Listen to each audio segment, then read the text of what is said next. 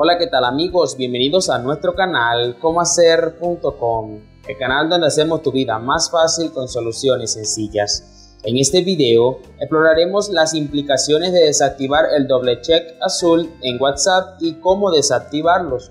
Por eso, si estás listo, comencemos.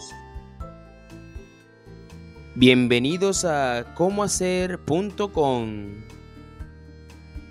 WhatsApp es una de las aplicaciones de mensajería instantánea más utilizadas en todo el mundo, conocida por su amplia gama de funciones y características. Una de las funciones más polémicas y debatidas de WhatsApp es el doble check azul que indica cuando un mensaje ha sido leído por el destinatario.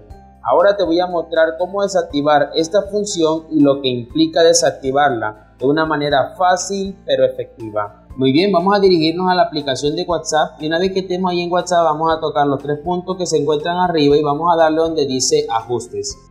ahora nos vamos a la opción que dice privacidad, allí mismo en los ajustes. Y ahora como pueden observar la opción que dice confirmaciones de lectura está activada, vamos a desactivarla. Dice que si la desactivamos no podrás enviarlas ni recibir las confirmaciones de lectura.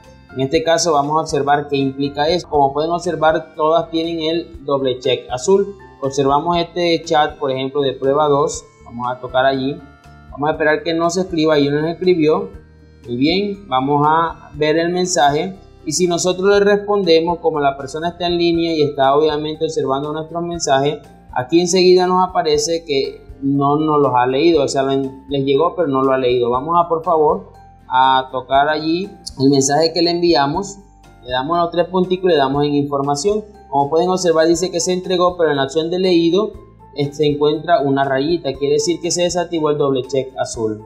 En resumen, desactivar el doble check azul en WhatsApp puede brindar una mayor privacidad y control sobre tu actividad en la aplicación. Sin embargo, es importante considerar las implicaciones de esta acción y cómo puede afectar tus interacciones con otros usuarios.